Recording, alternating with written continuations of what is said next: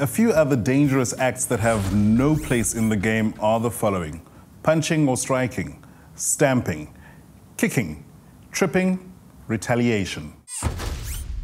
A player must never retaliate.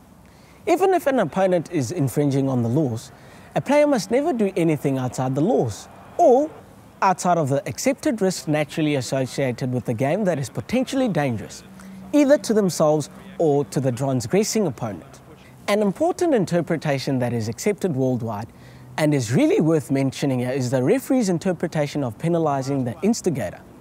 If two infringements of the laws are similar in severity, then the penalty will be given against the instigator or the first offender, the one that started everything.